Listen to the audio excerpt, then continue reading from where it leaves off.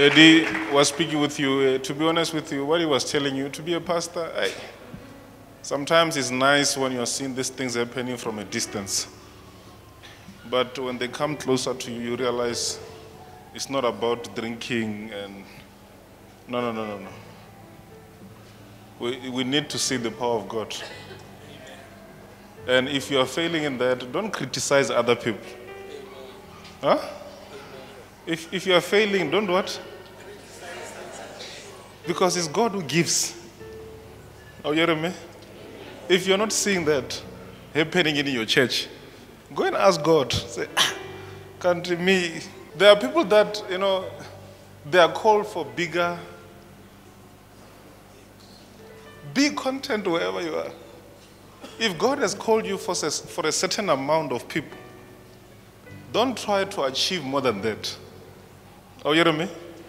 You, you, tell your neighbor say, You must know yourself. Know yourself. Huh? Can you know yourself?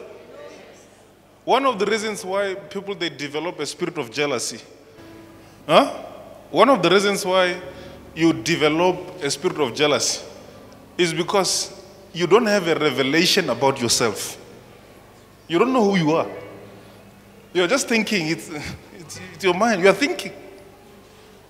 I think I'll be big. I think I'm big. From today, go and pray and ask, your, ask God, who are you? Who are you? Go and do that. And if you are faithful, God will reveal it to you.